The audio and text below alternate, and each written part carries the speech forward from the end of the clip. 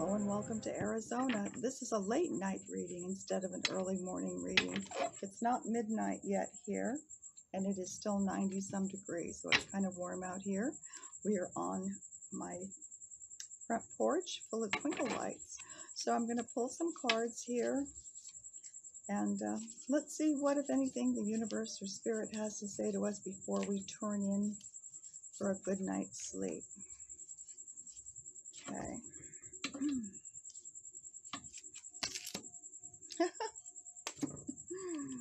Naturally. Oh my gosh. Oh my gosh. Oh my gosh. Okay. Well,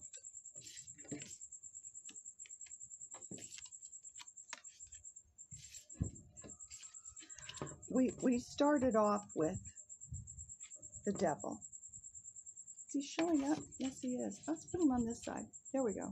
Yeah, we started off with the devil reverse. So someone must be overcoming their weaknesses or getting over their obsession or or uh, leaving behind something that they were um, connected to that that was just couldn't be any worse for them than anything.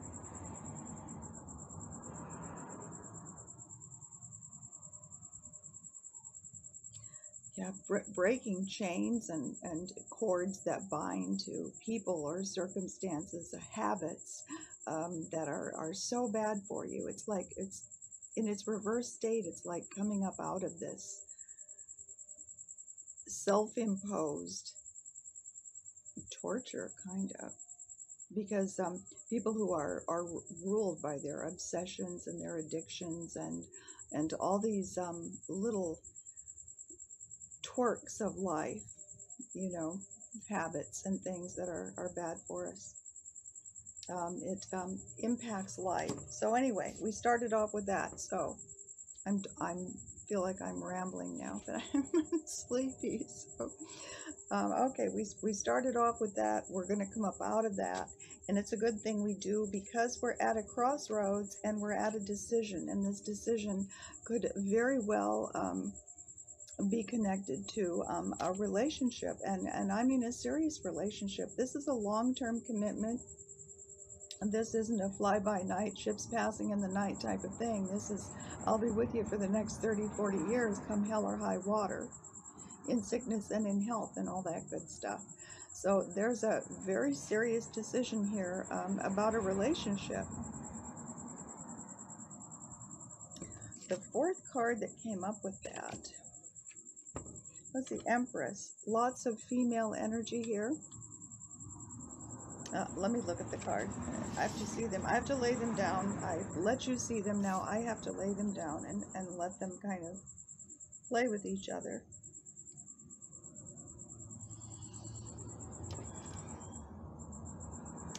Oh my goodness. um,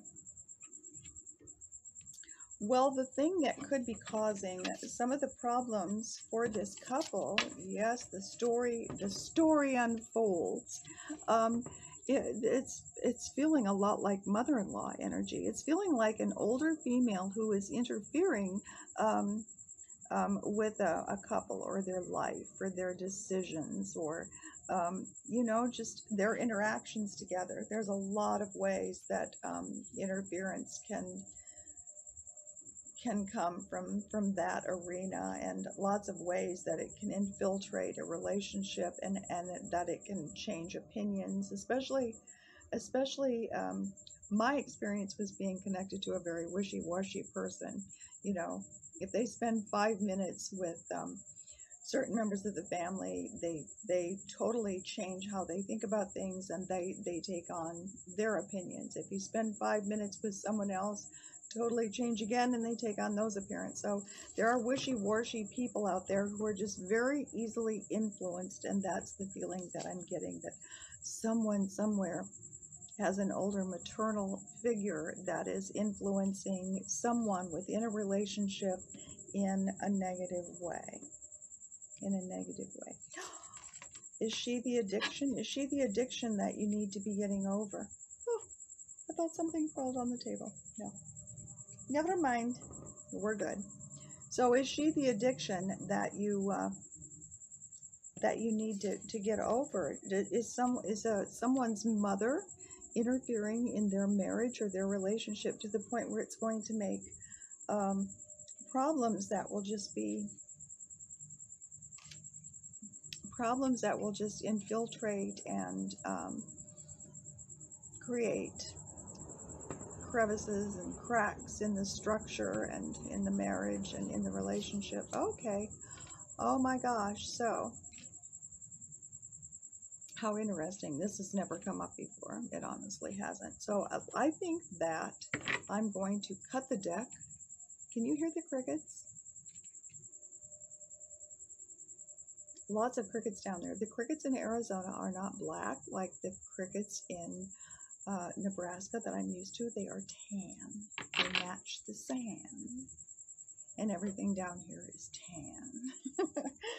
okay, let's cut this deck and uh, see what, what is going to be the outcome for this couple.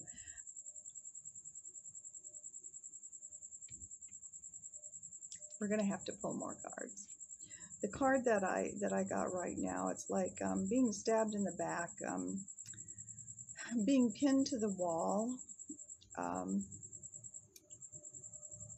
uh, uh, and I'm feeling also with this that a lot of this is verbal. So this uh, this Empress's um, um, sway and um, influence. Oops, Um, just a moment. so this emperor, Empress's sway and influence, um, I feel that it, it's mostly a verbal thing. Um, she's uh, puts way too much opinion. She uh, sticks her nose into decisions that are being made. She pressures um, whichever one of the parties of this couple that um, is her child. She pressures them to make decisions um, that how she sees they should be.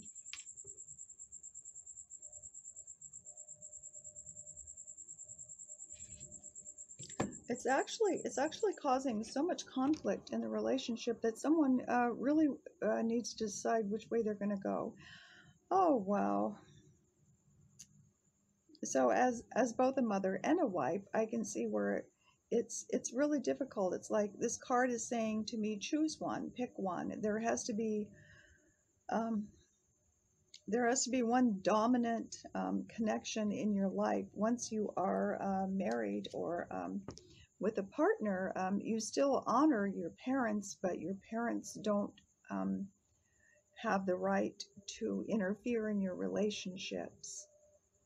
Um, it's kind of like it's kind of like the feeling of um, a mother who has a really hard time letting a child go. It's like that child could be 40 years old and and uh, newly married now. That's I don't know where that came from, but that's what I'm feeling. An older couple that all of a sudden is starting out and married. Did some old bachelor get married out there, or or mother mother's having a hard time letting him go? I don't know. I'm gonna split one more card and then I'm gonna go in because it's so hot out here yet. Oh, uh, Six of Cups reverse. Put it in the past. Put it in the past and start afresh. That's what I hear from the cards right now.